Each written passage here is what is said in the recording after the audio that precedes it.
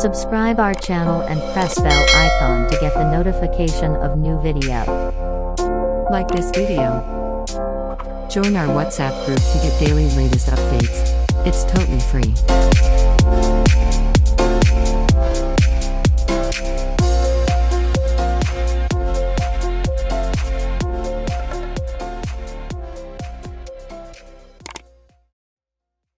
Part 1. You will hear a telephone conversation between a woman who is selling some furniture and a man who is making inquiries about it. First, you have some time to look at questions 1 to 5.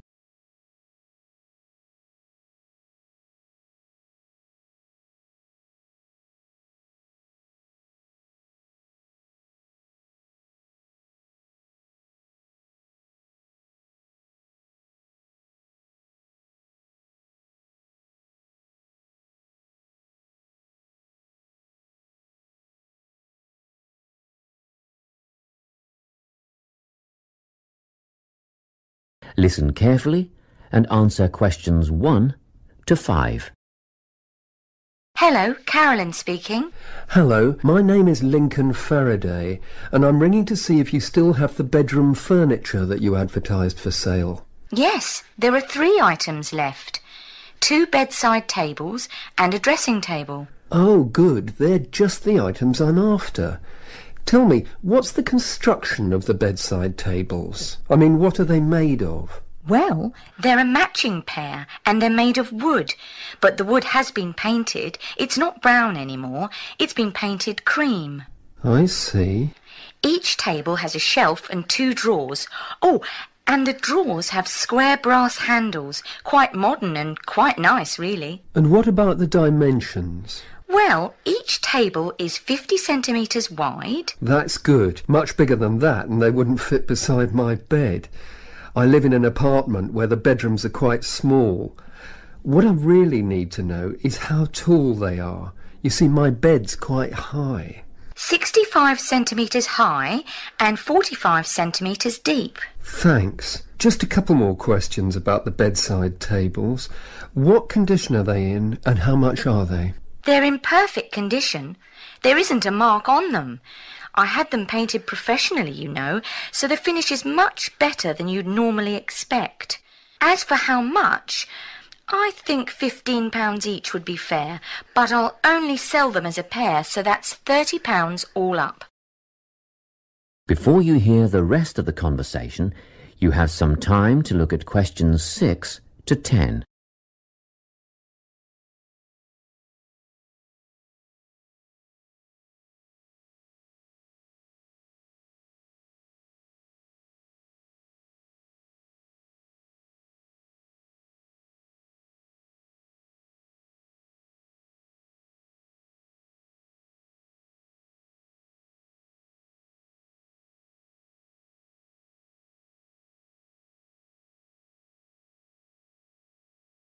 Now listen and answer questions 6 to 10.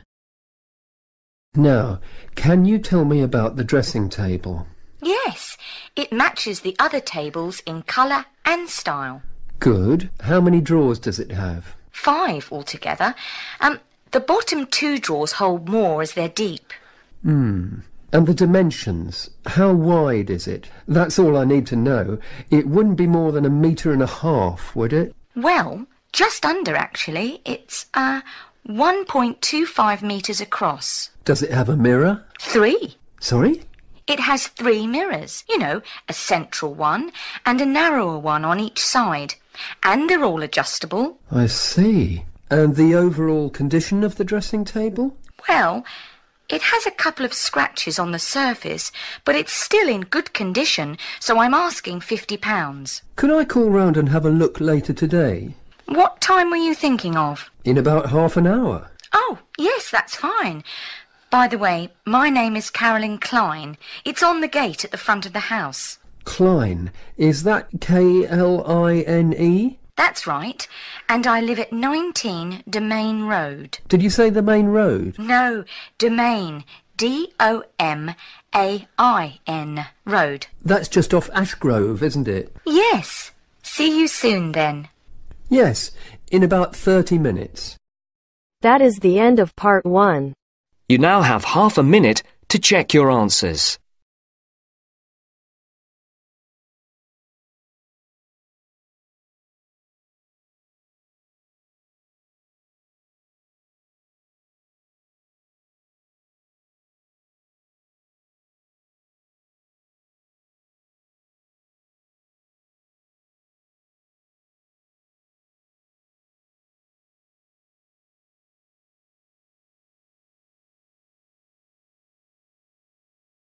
Now turns to part two. Part 2. You will hear an employee of the Sports Supercentre giving a guided tour of the facilities in the centre. First, you have some time to look at questions 11 to 17.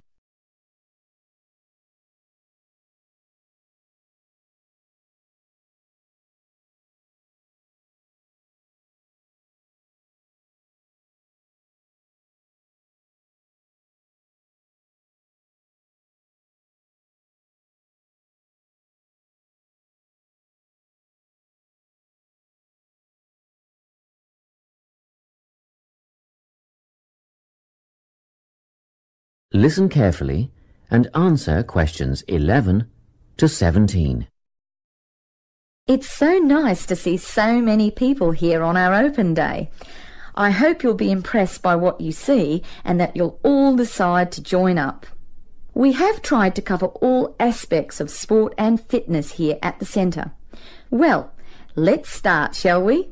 As we're standing here at reception looking down the long corridor, you'll notice the car park on your left, where most of you have parked, asks you to reverse into the parking spaces for safety reasons.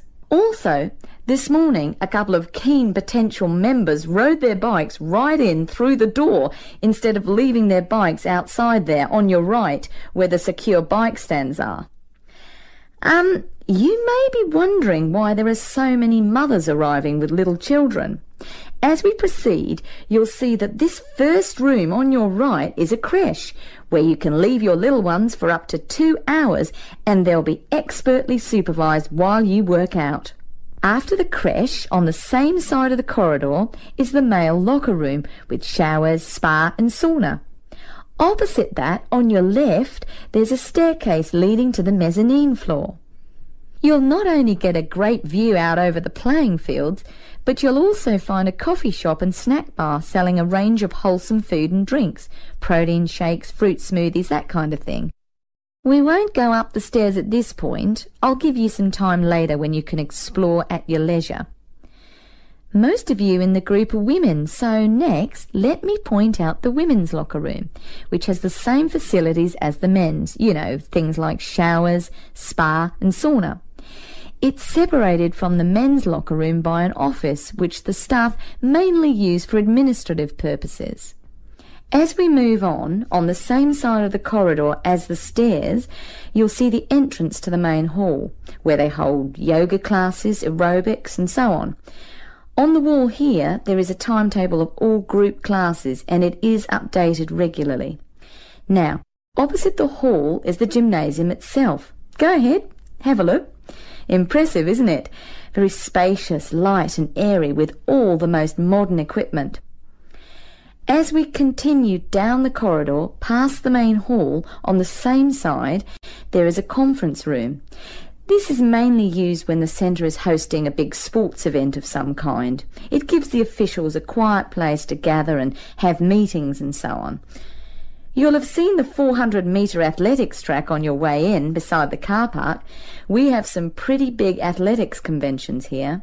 Well, after a strenuous workout, I bet there's nothing you'd like more than a swim in the aquatic complex. But first, these rooms on our right are all part of the sports medicine clinic where you have access to a doctor, physiotherapist, massage therapist, podiatrist, and even a sports psychologist if you need one. Of course, you'll need to make appointments, but if you have any questions, just pop in and see the clinic receptionist and she'll help you out. Okay, let's go through the turnstile ahead of us. And here we are, in the Aquatic Centre. Turn left, past the pool shop where you can buy or hire goggles, swim caps, and such like, and we're outside, poolside. Beautiful, isn't it? Especially on a day like today. Go on, dip your toes in the water, and if that's not warm enough for you, then I'll take you to the indoor pool, which is less than half the size, but heated to 32 degrees. Let's go back past the pool shop and through the double doors to the indoor pool. Well, that's all I have time to show you. Let's go back to the reception area and if you like, we can run through some details about opening hours, membership and so on. Before you hear the rest of the talk, you have some time to look at questions 18 to 20.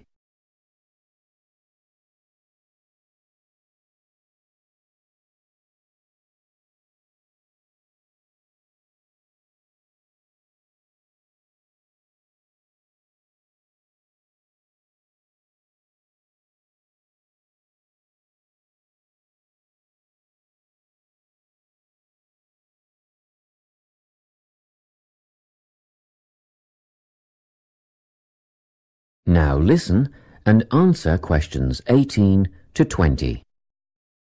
Now, in this brochure, you'll see the opening hours. The centre is open seven days from 5am to 9pm Monday to Friday, except for public holidays which follow Sunday's timetable. On Saturdays, we open at the same time as weekdays and close a little earlier. So that's 5am to 7pm on Saturdays, and on Sundays everyone gets a sleep in. You can come in between 7am and 5pm. Membership fees cover access to the gym, group classes and the pool. But if you want to join a swim squad to train with a coach, you should inquire at reception for prices and timetables. In the gym, personal training is available from one of our dedicated team of trainers, and reception will have more information on who is free when and what hourly rates apply. However, there is always a certificated instructor on hand in the gym at all times for advice and help. And once your membership is paid, you are entitled to a free health assessment and you'll get a program designed to meet your own particular needs. You'll need to book a time for this with the gym instructor. Now, if you're a mum or dad, remember you can leave your children in the creche. They take babies from six weeks old. Bookings are essential though, and you'll have to check the website for times and pricing. Members are also entitled to tennis lessons on a Tuesday or Thursday from 9 till 10.30. But bookings are essential, so ring Natalie. Her number is here in the brochure to reserve a place. Well, I think that's it. Any questions? That is the end of part two. You now have half a minute to check your answers.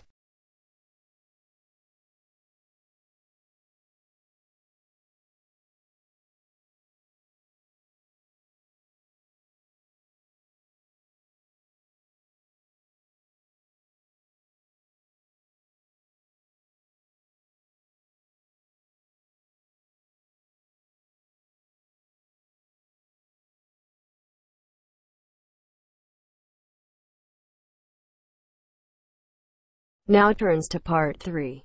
Part three. You will hear a conversation between a research student, Jeremy, and his supervisor. They are talking about the process of having a research project published in a journal. First, you have some time to look at questions 21 to 25.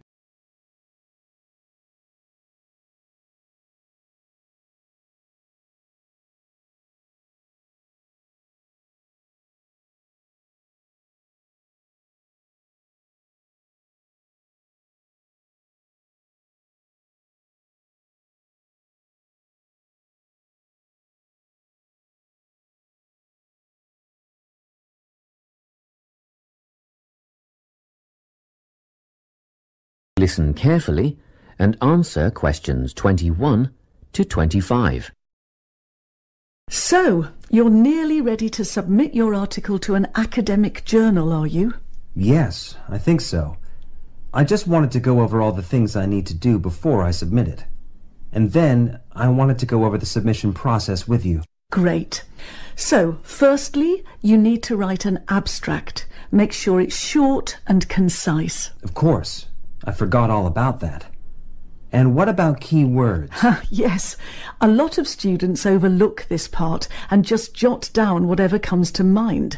But take some time to make a list of key words that are accurate and relevant. Okay. Another thing. Could you have a look at my article before I submit it? Absolutely. Actually, at least two senior staff members should always read through a final draft before submission. Do you mind if I give it to Professor Johnson to have a look at as well? Not at all. I'd be glad to have the feedback. Do you know which journal you want to submit to yet? Not yet. I have a short list of about three that I'm interested in. Make that decision soon, because you'll need to adjust your article so that it matches the style guide of the journal you are submitting to. I bet that can take a while. Yes, but after that you are just about ready to submit. One more thing. You'll have to sign the copyright form, just confirming that it's your own work. And then you're good to go. Before you hear the rest of the conversation, you have some time to look at questions 26 to 30.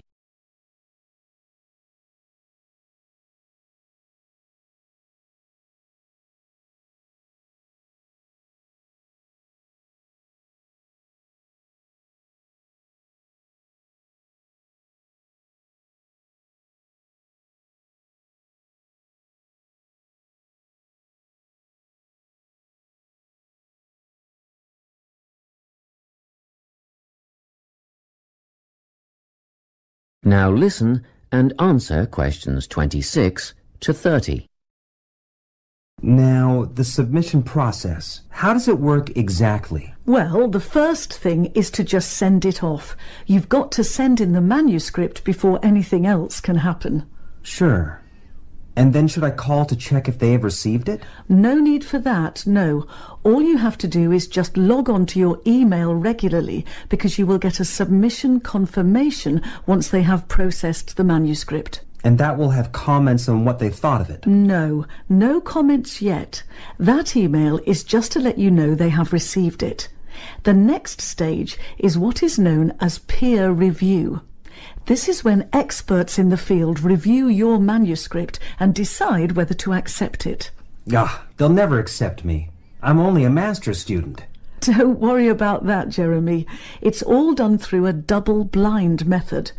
That means that whoever reads your manuscript has no idea whether you are a grad student or a Nobel Prize laureate. They'll only be judging your work, not you. Well, that's good to hear. And then what? Once they've made their decision? Well, there are four possible outcomes. You might get an acceptance, but a first off acceptance is very, very rare. Don't pin your hopes on it. You could also get a rejection, but these don't happen very often either. I don't think this will be a problem. What do you think I'll get?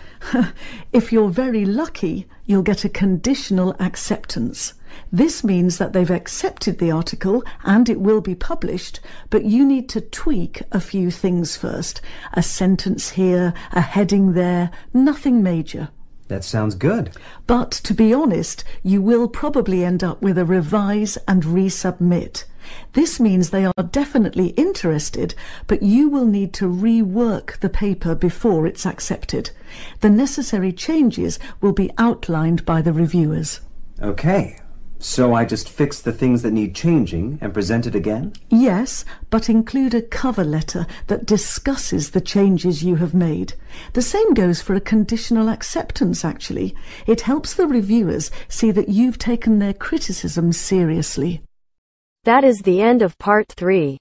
You now have half a minute to check your answers.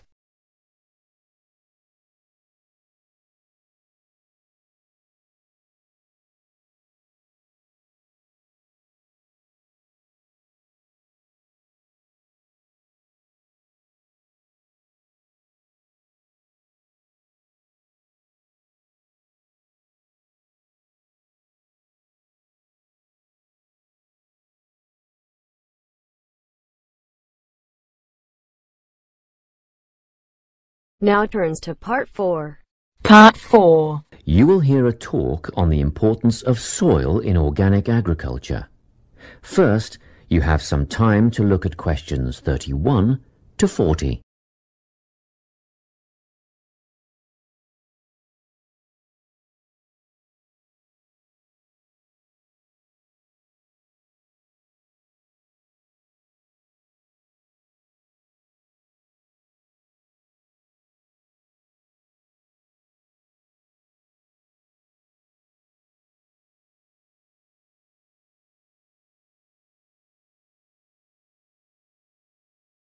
Listen carefully and answer questions 31 to 40.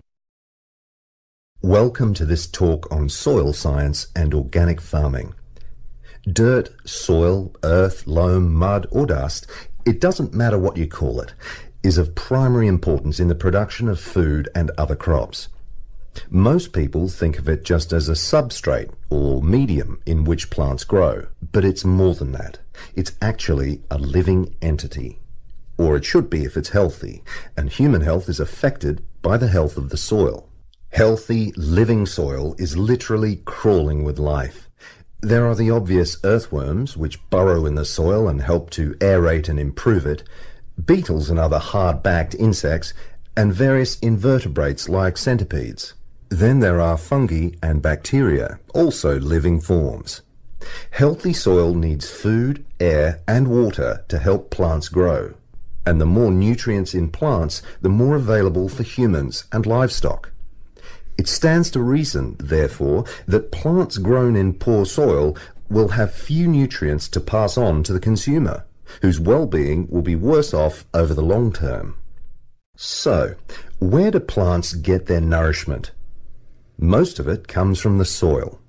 Some nutrients are made up of minerals from the earth, while others come from dead plant and animal matter, which is broken down over time by the living insects and other organisms in the soil. Plants depend on these little living creatures to convert minerals and other vital elements into a utilizable form that can be taken up by the plants. And it's a synergistic relationship. In turn, the plants assist those helpful organisms by releasing sugars and enzymes back into the soil. Before I go any further, let's take a look at the structure of soil. Now, if you look at the diagram, you will see that soil is made up of many different layers. Let's start at the bottom.